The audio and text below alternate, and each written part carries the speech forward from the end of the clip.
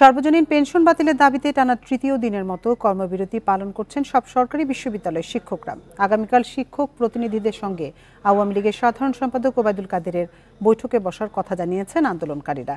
Class পরীক্ষা না হওয়ায় অচল হয়ে পড়েছে ক্যাম্পাস। এমনকি বিশ্ববিদ্যালয়ে ভর্তি পরীক্ষাও স্থগিত করা হয়েছে। এখন জন্ম সনদ দিয়ে খোলো বিকাশ স্টুডেন্ট অ্যাকাউন্ট।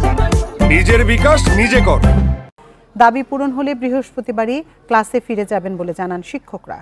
তারা বলেন, নতুন পেনশন স্কিমের কারণে জুলাইয়ে যোগ দেয়া শিক্ষকরা অবসরের পর এককালীন টাকা ও অন্যান্য সুবিধা পাবেন না।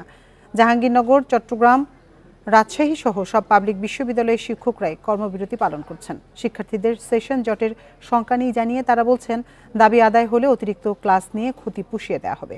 তেরোই মার্চ বিশ্ববিদ্যালয় শিক্ষকদের স্বশাসিত, স্বায়ত্তশাসিত পেনশন প্রত্যয় স্কিমে আনার প্রজ্ঞাপন জারির পর থেকেই প্রতিবাদ জানাচ্ছেন শিক্ষকরা। আন্দোলন চালিয়ে যাচ্ছি। আমাদের দাবি আদায় না হওয়া পর্যন্ত আমাদের আন্দোলন চলবে। আমাদের আন্দোলনগুলো কি? প্রত্যয় স্কিম প্রত্যাহার করতে হবে। দুই নম্বর হলো যে আমাদের যে সুপার গেটটি দুই হাজার পনেরো সালে আমাদের দেওয়ার কথা ছিল সে সিদ্ধান্ত হয়েছে সেটা দিতে হবে। আর আমরা স্বতন্ত্র বেতন স্কেল চাচ্ছি। যদি প্রত্যেক স্কিম প্রত্যাহার করে স্বতন্ত্র বেতন স্কেল করা হয়, তাহলে তো এক জায়গায় চলে আসতো দুইটা মিলে।